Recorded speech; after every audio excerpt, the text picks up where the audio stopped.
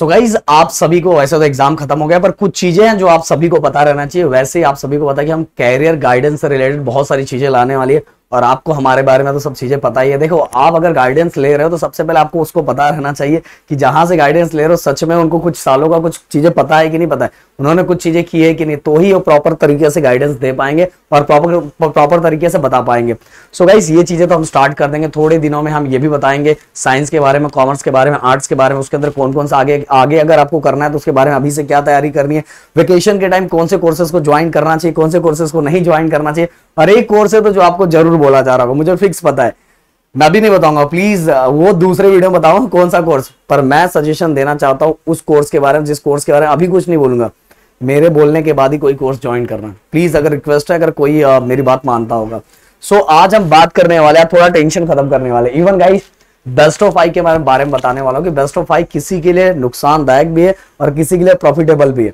तो किसके लिए प्रॉफिट है बनाता है और किसके लिए नुकसान करता है वो सी वो चीज़ें भी मैं आपको बताने वाला और उससे रिलेटेड भी एक परफेक्ट वीडियो आप सभी को आने वाला है।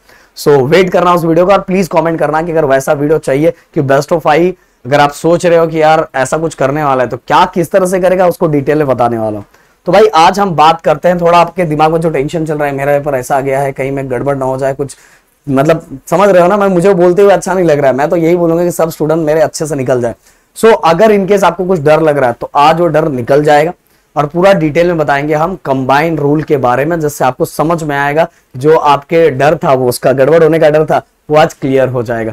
तो चलो सबसे पहली बात मैं आप सभी को एक चीज़ बता देना चाहता हूँ कि जो हमारा बोर्ड होता है हमारा बोर्ड कभी ये नहीं चाहता कि हम किसी भी स्टूडेंट को ज़बरदस्ती फेल करें या स्कूल भी नहीं चाहता।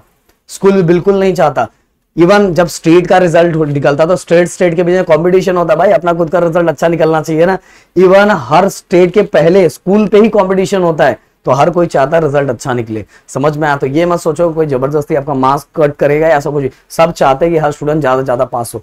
सो so, एक कंबाइंड रोल है जिस कंबाइंड रोल को अगर हम डिटेल में समझेंगे तो देखो सबसे पहले आप सभी को बताए कि हंड्रेड में से हंड्रेड में से अगर थर्टी फाइव मार्क्स नहीं है तो बंदा क्या है? फेल है। ओके उस पर फेल का ठप्पा लग जाएगा कि अगर थर्टी फाइव मार्क्स नहीं है। तो मुझे, मैं आप सभी से पूछना चाहता हूँ, यहाँ देखो, हिंदी, मराठी इंग्लिश हिंदी में आपके अकॉर्डिंग वो बंदा क्या है? फेल है। मराठी में पास है इंग्लिश में पास है, पर इसमें फेल है। और इसमें फेल है तो वो टेंथ में हो। नहीं नहीं गए हो। क्योंकि यही तो कंबाइंड रूल फ़ायदा देता है। कंबाइंड रूल ये कहता है कि अगर आपका, उसने दो ग्रुप बना के रखा हुआ है, हिंदी, मराठी एंड इंग्लिश तीनों को मिला के अगर आपका वन नॉट फाइव हो रहा है। ओके 105 हो रहा है तो समझ लो आप पास हो। पर तीनों सब्जेक्ट में जिसको आपको ऐड करना है ऐड करना है एटलीस्ट 25 मार्क्स होना चाहिए। अगर 25 मार्क्स नहीं है तो आपको वो ऐड नहीं किया जाएगा। कम से कम कितना होना चाहिए? आपके उस सब्जेक्ट में 25 मार्क्स होना चाहिए। तो अगर मैं इसको प्लस करता हूँ तो देखो यहाँ, ये हो गया five four four eight and nine और टेन तो ये हो गया हमारा one nought five one nought five मतलब ये बंदा क्या है? पास है मतलब समझो पाठक को कंसिडर कर लेते हैं रैक्स पाठक यहाँ पास हो गया। बट अगर मैं इसको ऐसा ले लेता हूँ, थोड़ा और मैं समझा दूँगा जिससे आप समझोगे। ये यहाँ ट्वेंटी हो गया और ये यहाँ फोर्टी फाइव हो गया। फोर्टी फाइव हो गया। तो भी अगर मैं प्लस करूँ तो फाइव या four four eight nine ten वही हो रहा है। बट ये क्या बंदा पास है? नहीं पास है। क्योंकि एटलीस्ट आपके सब्जेक्ट के अंदर कितने मार्क्स चाहिए? ट्वेंटी फाइव मार्क्स चाहिए। तो ही कंबाइंड रूल के थ्रू उसको ऐड किया जाता, नहीं तो ऐड नहीं किया जाएगा। ये दिमाग फिट कर लो, ये बहुत कम लोग आपको बताएँगे। अब चलते आगे। साइंस और मैथ साइंस और मैथ में आप सभी को पहले बता देना 25 मार्क्स तो चाहिए ऐड होने के लिए कंबाइंड रूल के थ्रू बट आपको दोनों को, ये दूसरा ग्रुप है साइंस और मैथ का ग्रुप है। साइंस और मैथ के ग्रुप को ऐड करके आप सभी को कितने मार्क्स चाहिए? सेवेंटी मार्क्स चाहिए। तो अगर आपको मैथ में, अगर साइंस में दूसरे अकॉर्डिंग देखे तो फेल है। बट कंबाइंड रूल के अकॉर्डिंग देखे तो five five ten four five six one seven. तो ये बंदा पाठक यहाँ भी पास इसमें भी पास है। तो इसमें ट्वेंटी फाइव मिला था फिर भी पास पर अगर यही यही मान लो ये ट्वेंटी हो जाए और ये फिफ्टी हो जाए तो भी फेल है।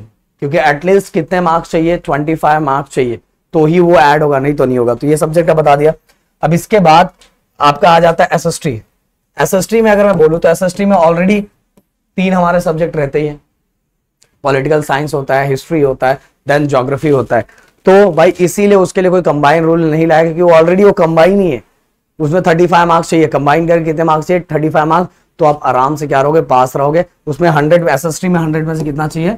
थर्टी फाइव मार्क्स मेरे थर्टी फाइव मार्क्स है तो आप पास हो। तो भाई ये है पूरा डिटेल में कंबाइन रूल किसके लिए? टेंथ स्टर्डर ट्वेल्थ स्टर्डर के बारे में ऑलरेडी मैंने प्रदीप गिरी अपडेट चैनल बनाया हुआ है। तो प्लीज़ इन सभी चैनल जो डिस्क्रिप्शन में दिया है, उन सभी को सब्सक्राइब करके अपना सपोर्ट एंड प्यार बताओ मिलते हैं नेक्स्ट वीडियो में. Thank you so much guys जय हिंद दोस्तों.